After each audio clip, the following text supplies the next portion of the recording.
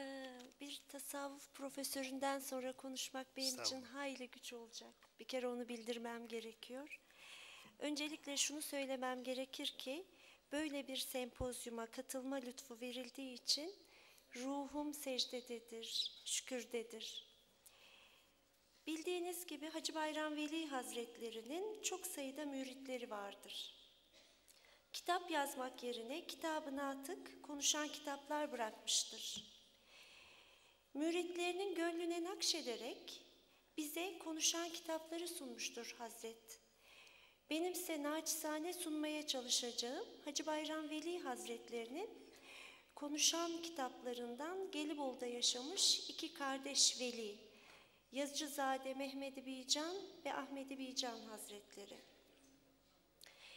Hocamın bahsettiği gibi İstanbul'un fethini müjdeleyen, Türkiye Cumhuriyeti'nin kuruluşuna feyz veren Hacı Bayram Veli Hazretlerinin yetiştirdiği öğrencileri Türk kültür ve ilim tarihinde önemli bir yer edinmiştir.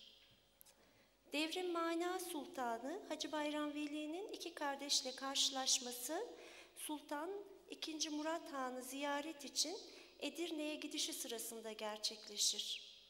İstanbul fethedilmeden önce Anadolu Edirne yolculuğu Çanakkale Gelibolu üzerinden yapılmaktaydı.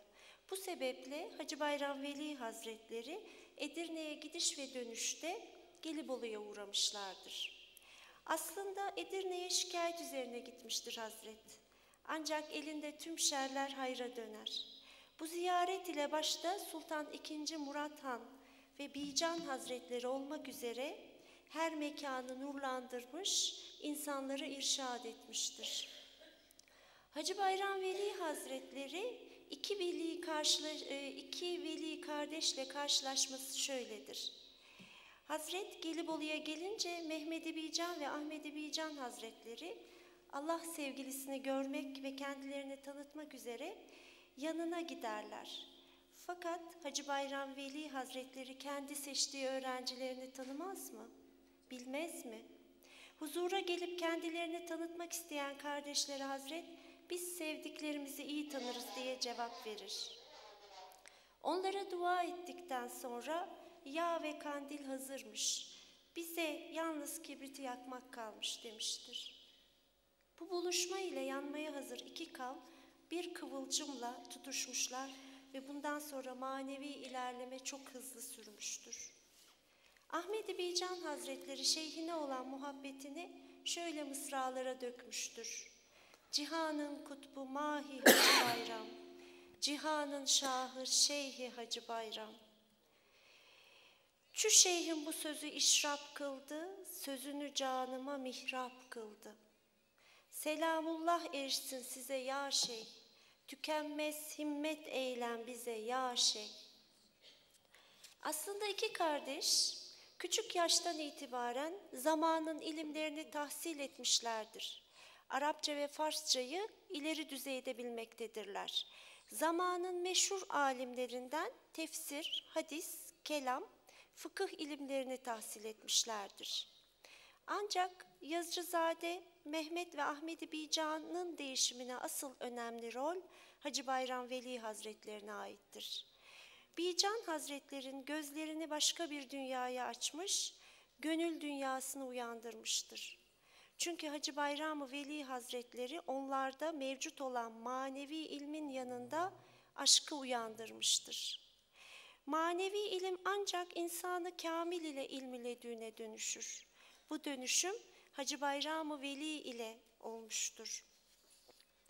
Yazıcızade Mehmet ve Ahmet Bican Hazretleri Bayravi olduktan sonra aşk ve muhabbetle ibadet edip oruç tutmuşlar, riyazatta bulunmuşlar, iyice yeme içmeden kesilmiş ve zayıflamışlardır. Manevi bedenleri ne kadar güçlendi ve büyüdüyse maddi bedenleri o kadar zayıflamıştır. Ve kendilerine bican yani cansız mahlası verilmiştir. Çünkü onlar bu dünyada cansız ama asil alemde dirileşmişlerdir. Bir gün Ahmet Bican Hazretleri Gelibolu'nun büyük camisinde vaaz veriyordu. Bir ara başını kaldırdı ve giriş kapısında ağabeyi Mehmedi Bican Hazretlerini gördü. Abisi ayakta bekliyor ve kendisine tebessüm ediyordu. Ancak içeri teşrif etmedi. Duruma üzülen Veli akşam annesi vasıtasıyla abisine sordu. Cevaben Hazret, kardeşim alim, arif biridir. Hacı Bayramı Veli Hazretlerini görünce bir başka Ahmet oldu. Sözleri hikmet dolu, gönülleri alan, ruhları cezbeden bir üslubu var. İlminden, irfanından istifade edenlerin sayısı belli değil. Ben de mübarek sözlerini dinlemek için gitmiştim. Meleklerin kanatlarını sererek vaazını dinlediklerini gördüm. Basmamak için içeriye giremedim dedi. Yazıcızade, Mehmet ve Ahmet Bican Hazretlerinin birçok eseri olmakla birlikte bu çalışmada peygamber aşkını e, vurgulamak için Muhammediye kitabı üzerinde durulmuştur. Yazıcıoğlu Mehmet ne kadar tefsir varsa inceleyip özüne almak ve hadisleri gözden geçirmek suretiyle Megaribüz Zaman adında Arapça eseri yazmıştır. Kendisinin isteği üzerine kardeşi Ahmet Bican Hazretleri Megaribüz Zaman'ı Türkçe'ye çevirmiş ve Envarül Aşikin kitabı oluşmuştur. Türkçe'ye çevrilen eseri nazım haline getirerek Muhammediye yazılmıştır. Mehmedi Bican Hazretleri tarafından. Bu eser Hacı Bayram-ı Veli Hazretlerinin müridinde uyandırdığı aşk ile gerçekleşmiştir. Bu sebeple aşkları kav iken aleve, alevden yangına dönüşmüştür. Bu yangın ise dört bir yanı ilim, irfan olarak kuşatmıştır. Yangının adı peygamber aşkı, kuşatmanın adı Muhammediye kitabıdır. Bu kuşatmayla elde edilen mana ganimetleri, cevherleri, mücevherleri mekan ve zaman düzlemine yayılmıştır. Mana ganimetleri, cevherleri, mücevherleri mekan düzleminde Balkanlar, Kafkaslar ve Anadolu'yu sarıp sarmalamıştır. Muhammediye kitabı Çilehane'de 7 yılda yazıldığı ve 1449'da tamamlandığı bilinmektedir. Çilehane Gelibolu'da namazgah bölgesinin altında deniz kenarında bir kaya kovuğudur. Daha doğrusu iki bölmeli kaya kovuğu ve e, sadece bir seccade girecek kadar bir alan var. Ee, namazgah ise namazgah ise Osmanlı Leventlerinin sefere çıkmadan önce topluca namaz kıldıkları, dua ettikleri Çanakkale Boğazı'na tepeden bakan bir açık hava mescididir.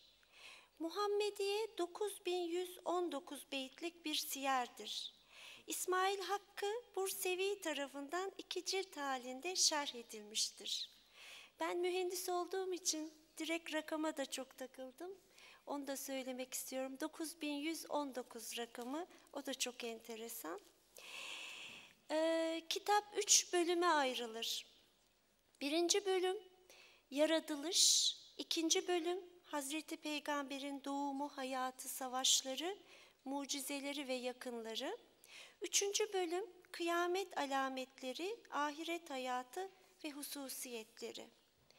Mehmet Vican Hazretlerinin kitabın yazılış sebebini kendi Muhammediye kitabında şöyle anlatır. Günlerden bir gün Gelibolu'da elimi eteğimi bütün halktan çekmiş, tek başıma oturmuş zikrediyordum. Gelibolu'nun o Allah aşıklarından bir kısmı toplanıp birlikte yanıma geldiler ve bana, ''Ey dost, Hazreti Resul'ün vasıflarını niçin aleme müjdelemiyorsun?'' dediler. Ben de onlara, ''Ey gözlerimin nuru cemaat, Allah'ın yardımına ve yüceliğine erişesiniz. Fakat bu yolda pek çok haberler ve bilhassa siyer kitapları ortaya çıktı. Nice mevlitler okundu, nice yüce vasıflı eserler yazıldı dedim. Söylediklerimi dinlediler ve yine de şöyle dediler. Tefsir veya bize daha uygun hadis tercümesi olsun. Bense eğer Allah takdir ederse taranıp gelin yüzüne salınan zülüf gibi o güzel eserlerin yüzüne bir zülüfte ben kondurayım dedim. Bir gece ansızın Hz. Muhammed'i gayet belirli bir şekilde rüyamda gördüm. Sahabelerinin arasında oturuyordu. Nurundan bütün şehir ve ovalar ışık içinde kalmıştı. Yüzleri örtülü sıra sıra, sıra oturmuşlar, hiçbirinin yüzü görünmüyordu. Önlerindeki çini taslar su ile doluydu ve bu sular içile içile berraklaşmıştı. Birisine sordum, bu hal nedir, niçin yüzlerini örtmüşler, niçin her şeye yüz çevirmişler? O kişi yüz örtülerini kimseye açmazlar. Çünkü onların yüzleri herkesi hayretler içinde bırakır. Diğer taraftan bu meclis, meclisteki şaraba, aşka kimse dayanamaz. Sarhoş olur dedi. Bu sözleri işitince ağlayarak yakamı paramparça etmişim. Bu ayrılığa hangi yürek dayanabilirdi? Bu dert Hazreti Peygamberden ve sahabelerden ayrı düşmek hangi sert taşlarla dövülüp yok edilebilirdi? Hazreti Peygamberden nida geldi. Ey sevgili kulum, gönül perdeni kaldır. Gönül perdeni aç ve benim yüzümü, nurumu orada ara. Sözlerimi halka açık açık söyleyerek ümmetime hikmet şarabımı içir. Söz ve mucizelerin bütün meleklere ulaşsın, bütün illeri dolaşsın. Beni öyle yaz ki Mısır'dan Anadolu'ya, Şam'dan Buhara'ya kadar her yer işitsin. Kara ve denizleriyle bütün halem halkın işittiği ve her zaman söylemekte söylenmekte olan Mevlidümü öyle bir yenile ki iki cihanı kaplasın. Evet, kemalimi bir desen yaz ki şehirden şehire bütün ümmetim işitsin. Benim ümmetim sabırla Hakk'a hamd eyleyen, Allah'ın buyruklarının tamamına uyan ve O'nun emir ve farzlarını eksiksiz yapanlardır. Kişi kimi severse onunla olur. Eğer taş sevse, sevebilse o bile hareket ederek sevgisiyle, sevgilisiyle olmaya çalışır. Beni sevenler benim ile olacaklar. Fazilet ve kudret mertebesine ereceklerdir. Ey şu an sözlerimi söyleyip işiten, beni seven bir şeref, bir bayram gibi yüzümü gözleyen, dilin ve kulağın sözlerimde olsun ki yazacaklarının özü içten, yüzü dolunay parlaklığında olsun. O iki cihanın sultanı buyurduğu için zor da olsa, güç de olsa işte sözümü tuttum. Hakka sığınıp onun vasıflarını ve sırlarını açıklamak üzere kolları sıvadım. Ey Allah'ım, yazıcıoğlu Muhammed huzurunda yüzü kara kullarından biridir. Sevgili peygamberin hürmetine onu affet ki huzuruna faziletinle varabilsin. Ey Allah'ım, bütün iman sahipleriyle birlikte bize de fazlını, rahmetini ve feyzini bağışla. Amin. Bu şekilde başlıyor kitabına. Hazret Muhammediye'de tasavvufun derinliklerine dalarken şeriatın sınırlarını hiç zorlamamış, hatta şeriatsız tarikat ve hakikat olmayacağını vurgulamıştır. Yazıcıoğlu'nun tasa tasavvufu işleyişi zevk ve heyecan içindedir.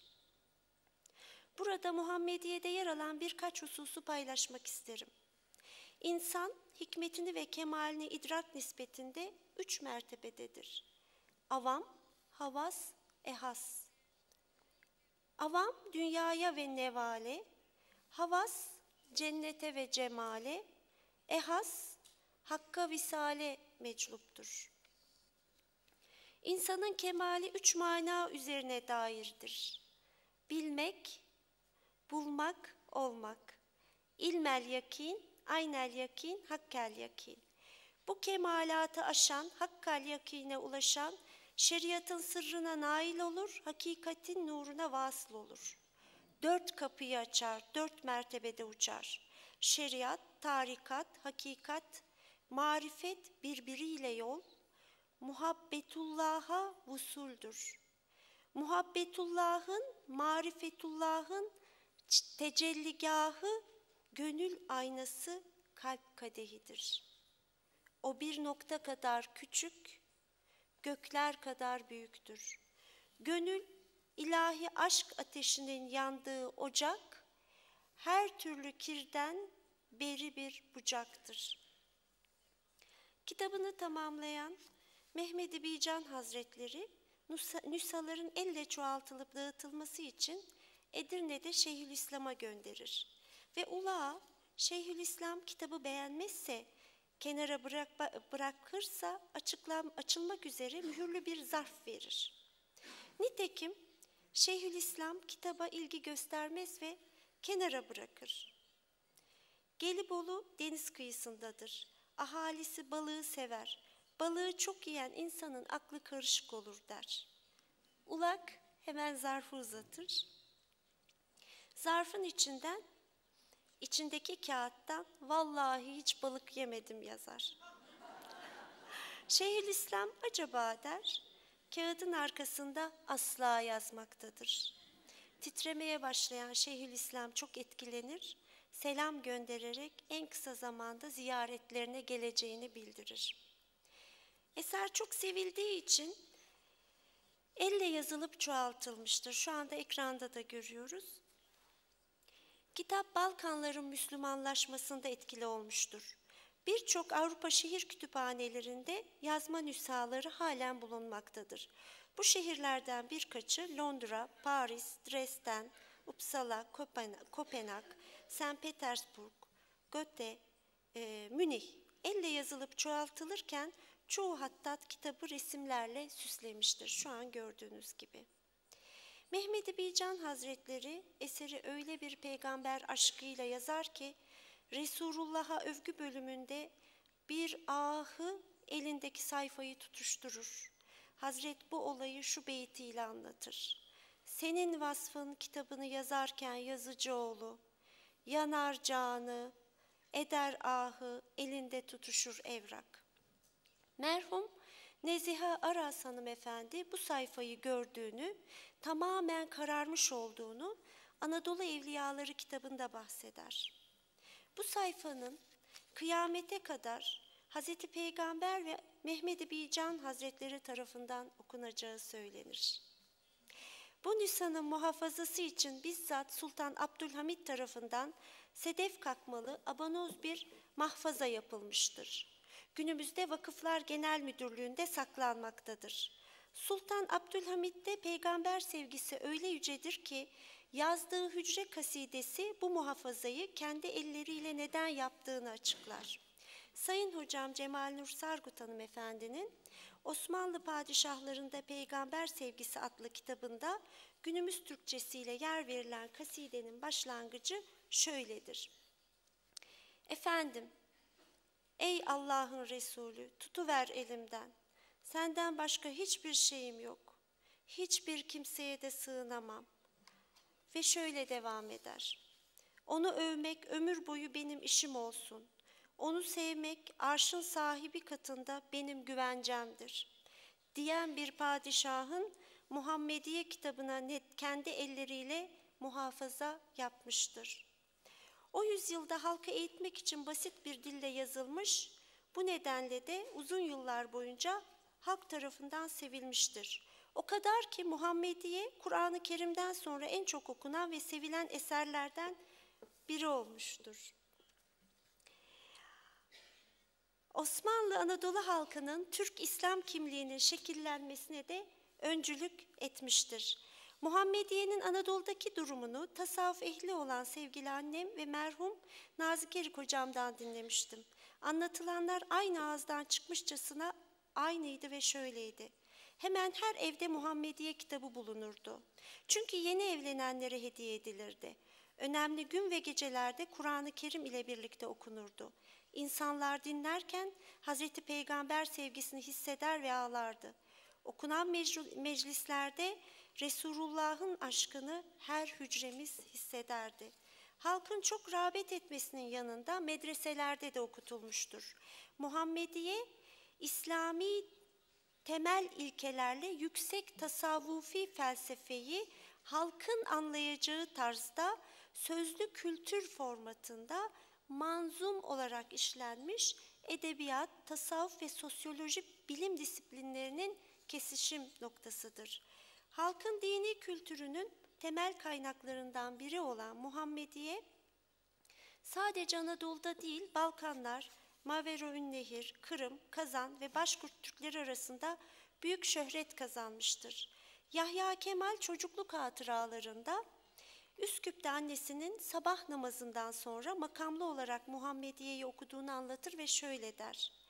Muhammediye'nin o mısraları bana bizim öz maceramız, evimizin, mahalle, mahallemizin, Üsküp'ün ve bütün milletimizin dünya ve ahiret macerası gibi gelirdi.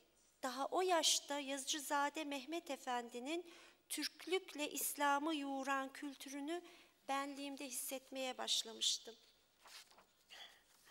Tatar edebiyatçı yazar İldar Muhammedov, Muhammediye'nin günümüzde Tatar edebiyatçıları ve aydınlarının ilgi odağı olmaya devam ettiğini bildirmektedir. Yazıcızade Hazretlerinin çok önemli hizmetlerinden biri de Anadolu'da Balkanlara çoğu gönüllü olarak giden kolonizatör Türk dervişlerine Gelibolu'da manevi eğitim vermişlerdir. Bu dervişler Müslümanlığı örnek yaşantılarıyla yaymışlardır. Görüldüğü gibi Hacı Bayram Veli Hazretlerinin himmeti Balkanlardan Kafkaslara kadar uzanmıştır. Yazıcızade Ahmet ve Mehmet Bican Hazretleri ömrünün sonuna kadar Gelibolu'da Yazıcızade tekkesinde halkı irşat için çalışmıştır. Konuşmamı Sayın Hocam Cemal Nur Sargut Hanımefendinin Osmanlı Padişahlarında Peygamber Sevgisi kitabındaki son sözle bitirmek isterim. Osmanlı, peygamber ve Allah aşkıyla yaşamış ve savaşmış, bizlere de bu imanla yaşamayı miras bırakmıştır. Allah'la peygamberi birlikte anıp sevmek, diri olduğumuza delildir. Yüce Rabbimizden miraside olmamayı ve bize yaşanan, yaşatılan değerlerin idraki içinde olmamızı niyaz ederiz. Teşekkür ederim.